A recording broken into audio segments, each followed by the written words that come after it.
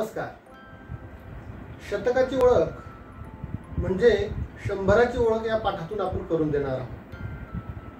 आपल्या विद्यार्थ्याला एक पासून नव्याण्णव पर्यंतच्या संख्या ओळखता येतात किंवा माहीत आहे असं गृहीत धरून आपण आता शतकाकडे जाणार आहोत म्हणजे शंभराकडे जाणार आहोत. त्यासाठी अशी मण्यांची माळ जर आपल्याकडे असेल तर ते अतिशय उपयुक्त साहित्य ठरेल. बाजारात असे सुटे मणी मिळतात.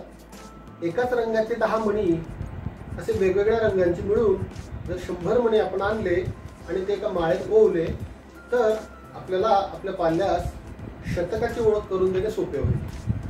या माळेचा उपयोग पुढे मोजून बेरीज करणे मागे मोजून वजाबाकी करणे या क्रियांसाठी सुद्धा आपल्याला करता येऊ शकतो. धन्यवाद.